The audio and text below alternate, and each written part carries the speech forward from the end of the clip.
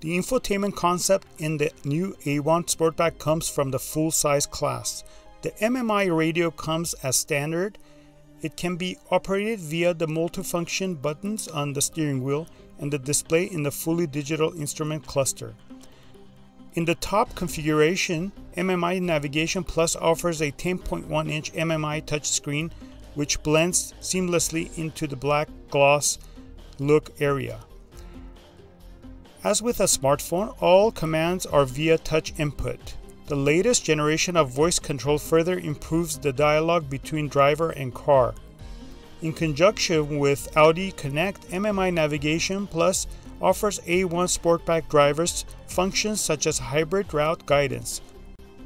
This calculates the route in the cloud, taking in account the entire traffic situation. Additional highlights are the satellite map view and the new 3D city models, which offer a precise map view of many urban centers.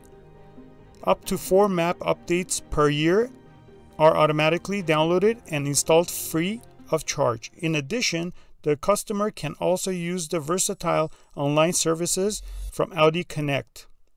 The Audi smartphone interface ensures you are always well connected on board the new A1 Sportback. It integrates iOS and Android smartphones using Apple CarPlay and Android Auto into an environment in the MMI program specifically for them, and offers two USB interfaces one times USB A, one times USB C with increased charging current.